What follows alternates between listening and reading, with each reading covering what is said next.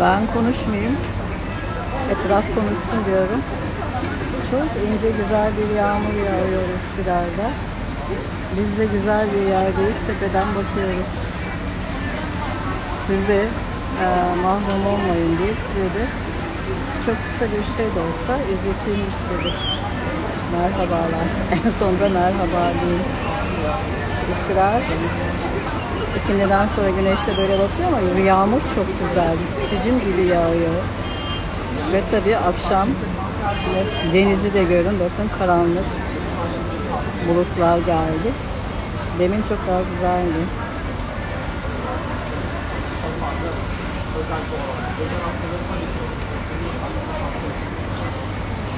Beğendiniz mi?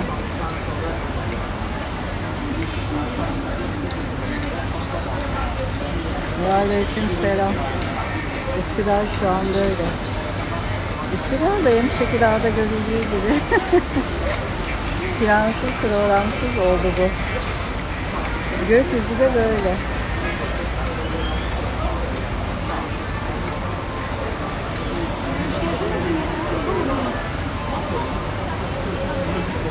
Gökyüzünü gösteriyor zaten.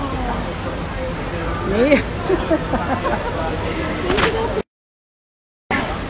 Arkadaş çekememiş. Benden alır artık ben vereyim. Yani senin manzaran aynı değilse aynı yerde değiliz o zaman Elif'ciğim. Biraz yukarıdan. Gidiyorum çekeceğim. Ha yukarıdayım evet. Ben yukarıda değilim merkezdeyim.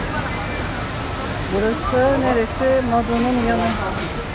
Merkez Mado var ya. Adı, zaten Mado'ya aitmiş. Mado, genç, hepsi burada bir adamınmış. Anlamadım. Şuradan açacaksın.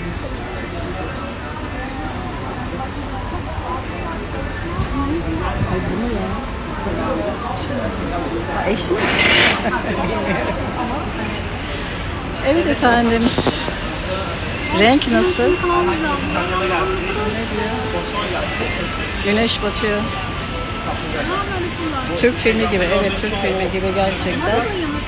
Şu gökkuşağı çıktı mı?